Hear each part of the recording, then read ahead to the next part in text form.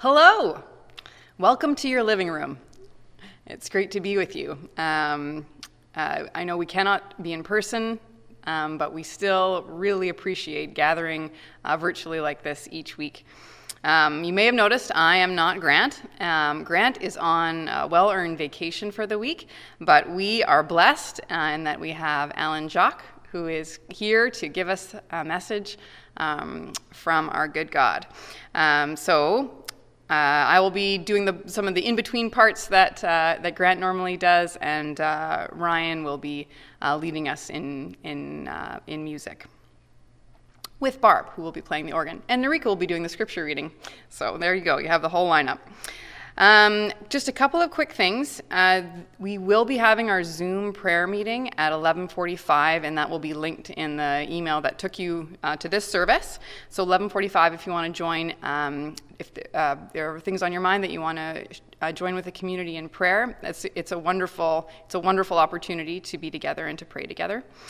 Um, the other thing is there's a virtual prayer room at 12:30, and I would just encourage you to use this if there's something personal that you wanted to have prayer for that you don't want to share with the group. Um, it, it's it is so good to be prayed for, and there will be somebody there that will be um, offer up your request to God with you. So I would just encourage you to take that opportunity if you are feeling that you need that right now. Okay, that's the announcements. Uh, we are going to dive in to worshiping our God together. So, um, the call to worship this morning is from Psalm 95, verses 1 to 7. So, hear these words Come, let us sing for joy to the Lord. Let us shout aloud to the rock of our salvation. Let us come before him with thanksgiving and extol him with music and song. For the Lord is the great God, the great King above all gods. In his hand are the depths of the earth, and the mountain peaks belong to him. The sea is his, for he made it, and his hands form the dry land. Come, let us bow down in worship. Let us kneel before the Lord our Maker, for he is our God, and we are the people of his pasture, the flock under his care. Let's pray. Thank you, God, for who you are, that you have made this good world, that you are beyond our comprehension, and that you are also close to us, closer than, closer than our heartbeats, that you are in each breath. We want to honor you this morning. We want to worship you. We want to love you. So help us, help us to worship you this morning and to look to that bigger picture. Thank you for your love in our lives. In Jesus' name we pray. Amen. I will now invite Ryan to lead us in our first hymn.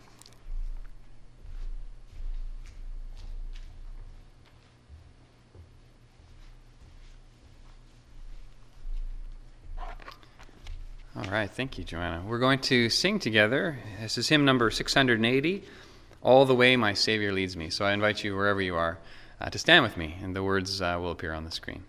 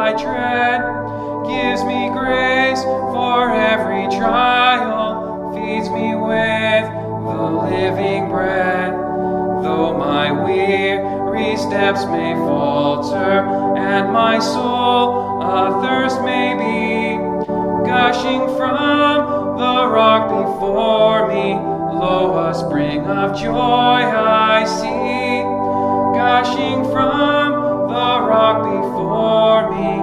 Lo, a spring of joy I see. All the way my Savior leads me. Oh, the fullness of his love, perfect rest to me his promise in my Father's house above. When my spirit clothed immortal wings its flight to realms of day, this my song through endless ages, Jesus led me all the way. This my song Jesus led me all the way. Thank you. And please be seated.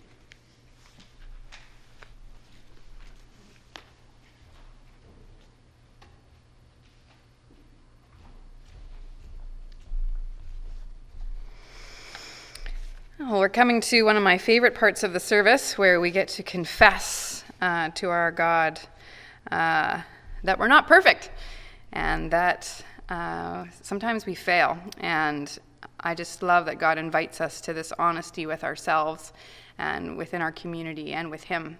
Um, that there are things that are broken in us um, that we need His love uh, to heal. So I would invite you to join with me in the prayer of confession. Most merciful God, Father of our Lord Jesus Christ, we confess we have sinned in thought, word, and deed.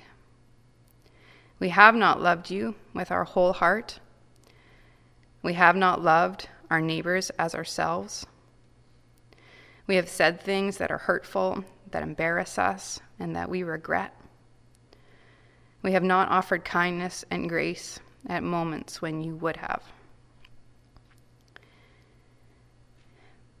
In your mercy, forgive what we have been.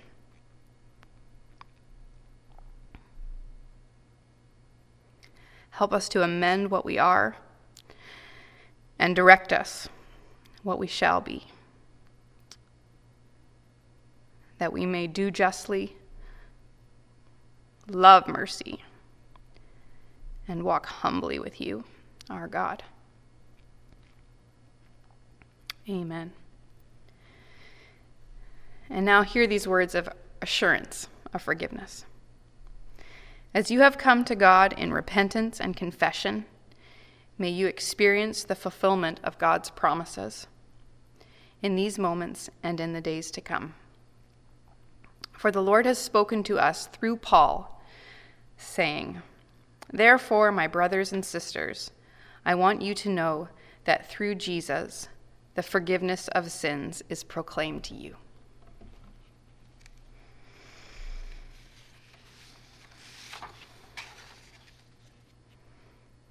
It is now the time in our service where you're going to pause the video, and below you hear Grant say this week after week, but below the video there are some links, and those links have been especially chosen for this service. And so I invite you to go to those links now. And if you have children with you, there's a children's song. And even if you don't have children with you, that children's song is always really good. And we often start with it in our house because it gets you moving. Um, and it's wonderful. So just invite you to pause the video now and um, sing some contemporary worship songs to our God. Welcome back. It's been so long. It's really nice to see you again. Um, we are now moving into the prayers of the community. Um, so, uh, as Grant does every week, I will do now. I will offer up uh, prayers uh, for us, and then I will pause, and you can hit pause and invite you to pray with whoever you're with. Um, and or if you're by yourself, just a good moment to pray aloud uh, to God with the things on your heart, and then I will and then I will close off our prayer. Um, I should say, too, I've adapted, um, uh, uh, for the first portion of this prayer, I've adapted a reading from Julian of Norwich. Uh, so let us bow in prayer together. Gracious God, you well know that during our lives here on earth, we experience a wondrous mixture of well and woe.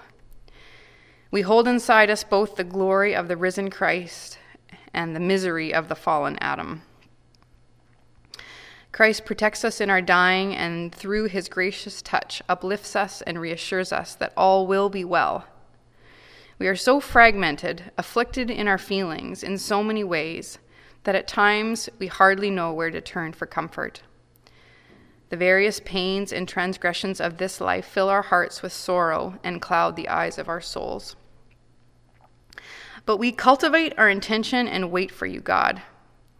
We have faith in your mercy and grace and trust that you are working within us. In your goodness, you open the eyes of our understanding and give us insight. Sometimes we glimpse more, sometimes we see less, depending on what you give us the ability to receive. The mixture of sorrow and joy is so powerful that we cannot figure out how to handle it all, let alone assess how our fellow spiritual seekers are doing. The diversity of feelings can be overwhelming. And yet, in those moments when we sense your presence, God, we surrender to you, truly willing and wanting to be with you, with all our heart, with all our soul, and with all our strength. And in this spirit, God, we come to you. We thank you for the light of spring and the new growth on the trees and in gardens that reveals life coming out of death. Your good way. Father, we pray for those who are suffering right now in their bodies and minds. We pray for our church family and our community here in Victoria and elsewhere. You know, God, that many are not doing well as the increasing COVID numbers bring renewed fear and anger and apathy. Bring your peace to our land, we pray. God, bring your peace to our minds the way that you gave it to your disciples after your resurrection. It is a gift that only you can give and that we so desperately need. God, we now offer the prayers on our hearts to you, knowing that you are with us and inviting us to come to you.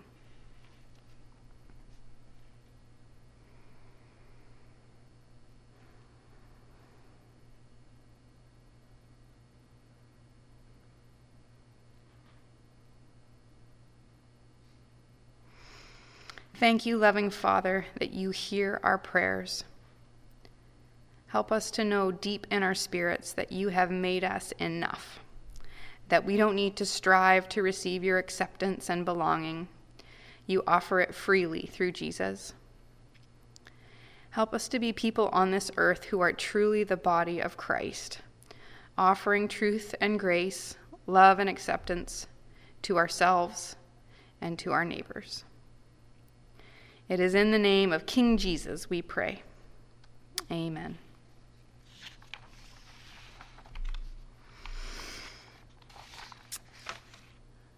I have one more announcement for the children. This is the moment where, if you have children with you, invite them to go do something else.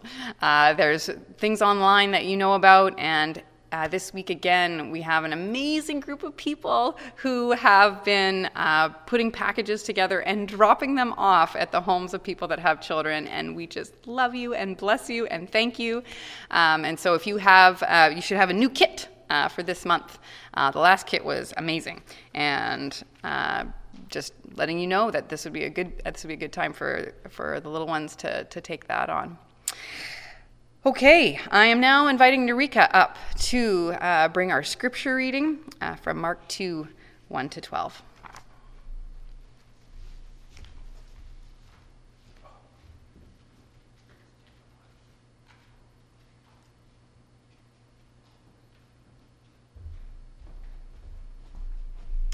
Hi. Um, so the scripture reading today is from Luke 19, uh, verses uh, 1 through 10. Jesus entered Jericho and was passing through. A man was there by the name of Zacchaeus. He was a chief tax collector and was wealthy. He wanted to see who Jesus was, but because he was short, he could not see over the crowd. So he ran ahead and climbed a sycamore fig tree to see him, since Jesus was coming that way. When Jesus reached the spot, he looked up to him and said, Zacchaeus, come down immediately. I must stay at your house today. So he came down at once and welcomed him gladly. All the people saw this and began to mutter, he has gone to be the guest of a sinner.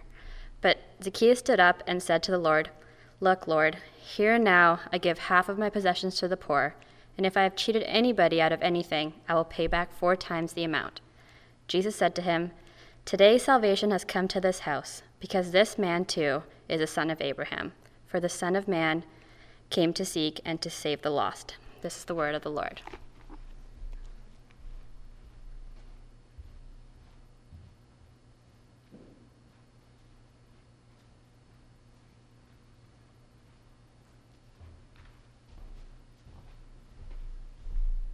Let's do this. All right. Um, hi, church. Good morning, um, everyone. I'm Alan. Uh, for those who don't know me, I hang out here with the youth a lot. Um, if I haven't met you yet, I'd love to meet you someday soon. Um, yeah, um, I work for Young Life. Uh, yeah, this is my first time preaching in front of people, I guess, that are not teenagers. So, yeah, and in front of a camera. So a lot of new things like happening here today.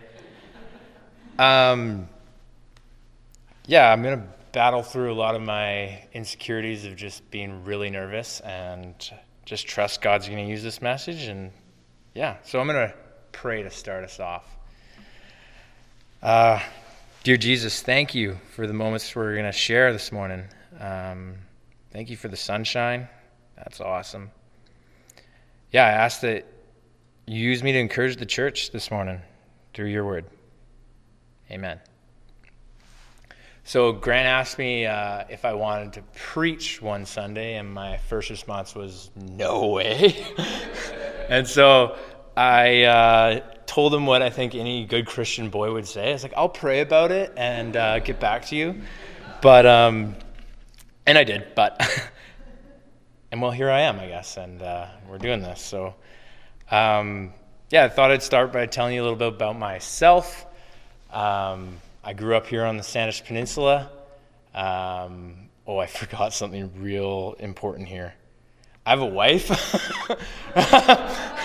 That's number one. Her name is Narika. She just read the passage. She's awesome. Um, super fun person, very wise. And I am really stoked and excited for you guys to one day hang out with her um, and get to know her. Yeah. Um, yeah, so I grew up here on the Saanich Peninsula, um, born and raised. Uh, I uh, grew up in a, a, pretty broken home.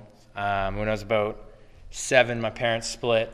Uh, I never really heard much about Jesus growing up, uh, other than like a swear word my dad would use from time to time. Yeah, and um, I have an older sister and a younger brother. So shout out to the middle children, Ben, Ryan, Woo.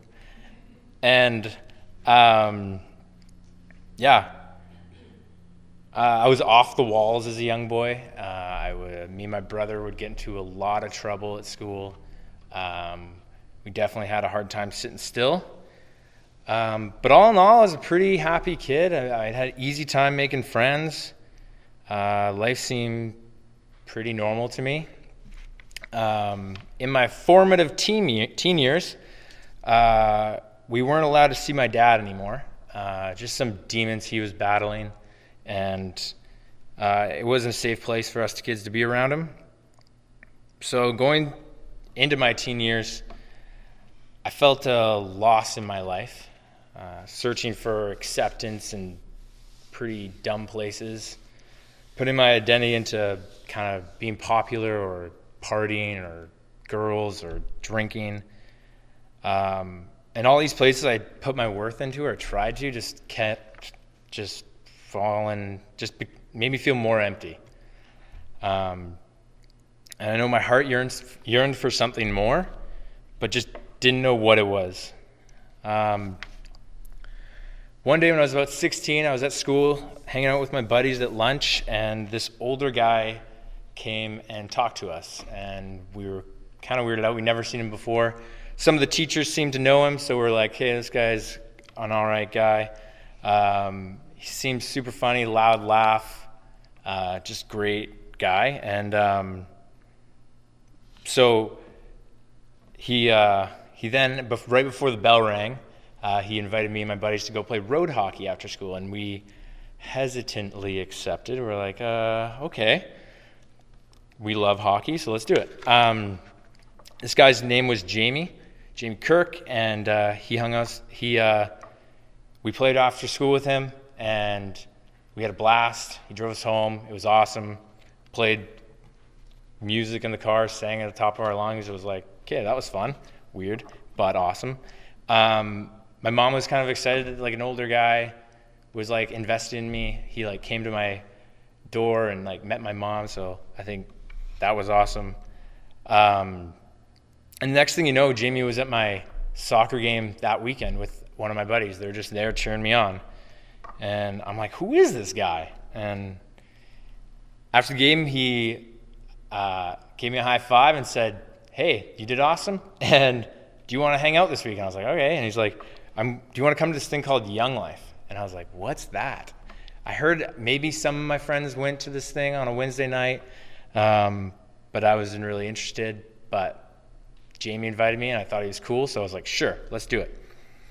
So Wednesday rolls around, and he picks me up in his Toyota Echo. That thing's a legend, and uh, it was chaos. It was nuts. Um, singing, dancing, games, these challenges, pretty girls. Like it was absolutely the perfect place for a 16 year old boy. We had a blast. And um, at the end of the night, they settled us down and told us about this guy named Jesus. Uh, I was a little caught off guard, but was surprisingly intrigued. Um, found out my young life leader was a Christian. I was confused because my picture of Christians were people who judge other people and sit quietly in a church and read, not have fun like like we were having. Um, so I was a little confused. But when I came home from that night, I just felt so full. Something about how the leaders treated one another, how they treated the youth, how they just uh, were living life to the full. It seemed. I don't know. Yeah, and so throughout that year, I got to hang out with Jamie. Um, I got to see him walk out his faith from how he interacted with the cashier at Subway, or uh, just how he cared for his mom, uh, or even just how he loved on his friends. Um, Jamie did a great job of just being intentional and consistent in my life. And he would just walk life with me. And he made me feel like I was one of his best friends. Um, I then was, invited to a camp that summer uh, called Rockridge Canyon. It's a Young Life camp out in Princeton, BC. I got to go with Jamie, all my buddies, and I was pumped. Uh, every day was full of fun, laughter. Um, I got to hear the whole gospel presentation um, that week, and we did this thing called cabin time, which was like for sure the highlight. It's when you sit in a circle in your cabin and you just talk about your life and what your what your family life is like, what your feelings towards this God guy is, and who this guy, Jesus guy is, and um, it was really foreign to a bunch of teenage boys. We were like, "This is weird," but for everyone, it was the highlight of the week. Um, yeah, and I got to like wrestle with my young life leader about this Jesus guy and who he was. And he just was patiently with me through those questions and through that wrestling. Um, I got home that week feeling so known, feeling so loved. I think all my like obsessing about feeling accepted or trying to fit in was just kind of like melted away, it seemed like. And I knew I was yearning for something, but like, could it be this Jesus guy? Like, and I think through lots of wrestling, I, um, with my young life leader and praying and figuring things out, I remember it was like a few months after camp in my kitchen, I gave my life to Christ with my young life leader, Jamie.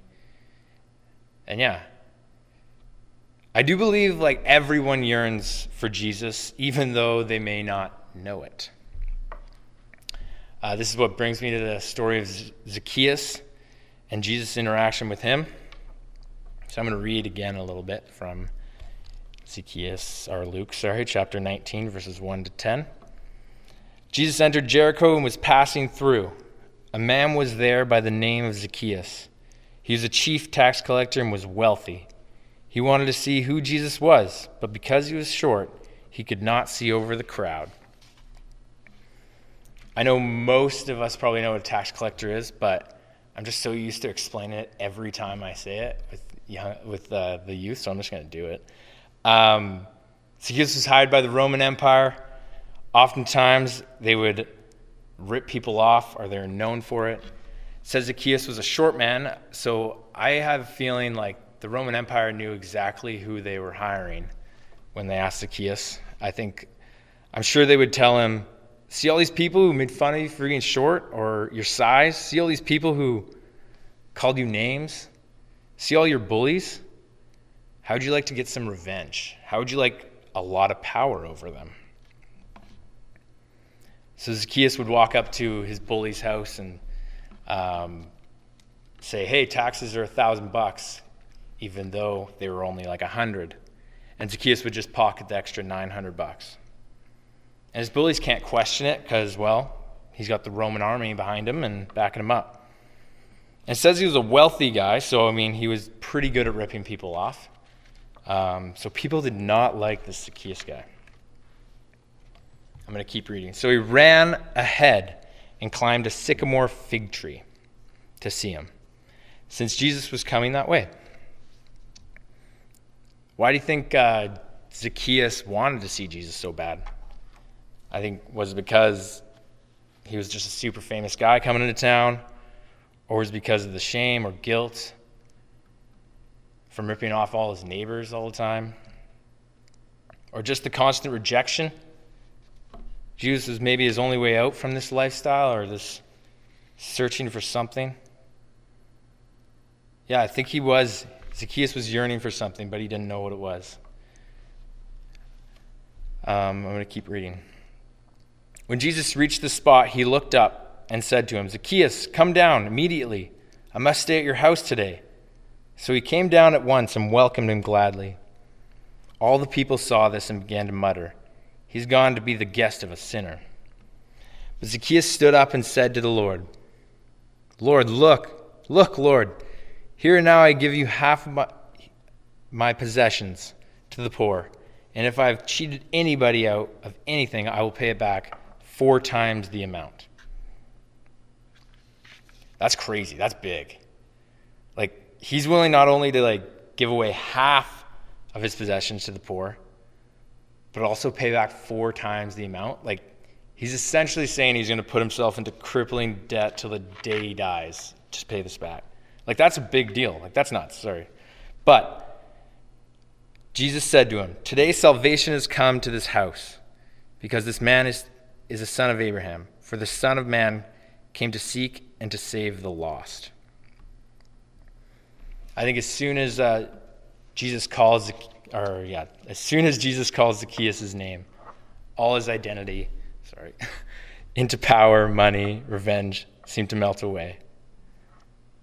I think similar to a little bit about my story, I feel like when Jesus called me, when he entered my heart, like I felt like that week at camp, like it just seemed to melt away. All these insecurities or whatever I was putting my identity into being accepted. I was known and I felt loved. I think Zacchaeus here, he was known and he was loved. I mean, my conversion was a little slower, but um, anyway. Yeah, I believe everyone's heart yearns for Jesus. We may or may not know it because of all the all the things we put our worth or identity into. I mean, this isn't just happening to angsty teens or short tax collectors from 2,000 years ago. I think we all, I still fall for this trap of putting my identity into the approval of others. I still struggle with this. I think we all struggle with it, whether it's putting our identity into our finances or our kids or how well they do in life or how well they do in school. Yeah, like having power, wanting approval, needing all the cool cars or cool house or whatever it may be. We do it, and Jesus, Jesus constantly calls us back to Him. Maybe you keep falling for this trap, or maybe someone you know in your life that you see falling for this trap constantly. I think, how can we help them see Jesus? How can we help one another see Jesus? How do we show people what their hearts truly yearn for? And I've had many friends um, and young life leaders who've showed up to help me see Jesus time and time again.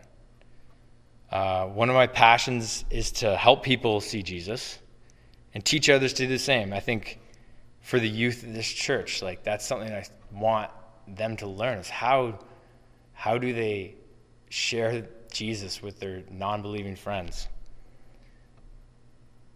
Um, I think it's not easy. There's some obstacles, a lot of obstacles sometimes. I think one of my favorite parts of this story, other than Jesus, of course, is the role the sycamore fig tree plays. I often find people have obstacles to seeing Jesus. In Zacchaeus' case, it was uh, the crowd that didn't let him through. But the sycamore fig tree was his help to see Jesus. I think for some people, their obstacles may be shame or guilt that keeps them from seeing Jesus, pride. Could literally be, I just need a ride to church or a Bible study. Maybe a barrier could be some past hurt from the church or a Christian. Sometimes I ask, could we be the barrier that's keeping people from seeing Jesus? So it's a little sounds a little funny, but I want to ask and encourage the church to be a sycamore fig tree. How can we be a church who gives people a clear view of the character and love of Jesus? Or maybe we need to climb up a fig tree to get a better look at Jesus. Yeah. So thank you. Uh, I'm going to pray, and then that's all I have. God, thank you um, for putting the sycamore fig tree there uh, so Zacchaeus could see you clearly. Lord, uh, I thank you for what you're doing in the lives of um, this church. God, I ask that uh, you continue to encourage us, and God, that we can just be a church that gives people a clear view of you, who you are and your love. In Jesus' name, amen.